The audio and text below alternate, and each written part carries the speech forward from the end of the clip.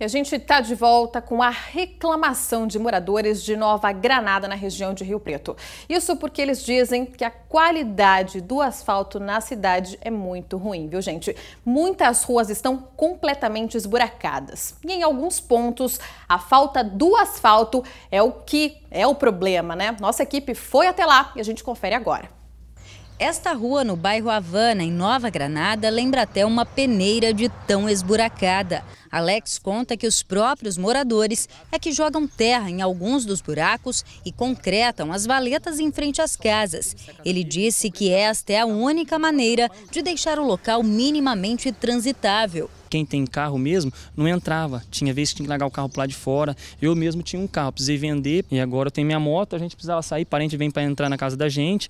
Na garagem não tem como. Além da dificuldade em morar em uma rua como esta, ele conta que os problemas com manutenção nos veículos são frequentes quebra, né, para-choque, amortecedores, é, roda entortando. Em outro ponto da cidade, além dos buracos, a falta do asfalto incomoda bastante. Célio vive aqui no Parque das Nações. A Avenida Félix de Lima Figueiredo é o caminho que ele usa todos os dias para ir ao trabalho ou algum compromisso. E conta que a cada dia a situação piora por ali. Quando chove, né, é muito, muito barro, ou quando não, é muita poeira.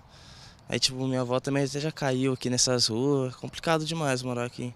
Aqui no bairro Sandra Regina, os buracos significam um verdadeiro risco para a população. Este, por exemplo, se estende até quase a metade da rua. A proteção fica por conta apenas de um cavalete, que esconde que aqui o asfalto é praticamente uma casquinha de ovo.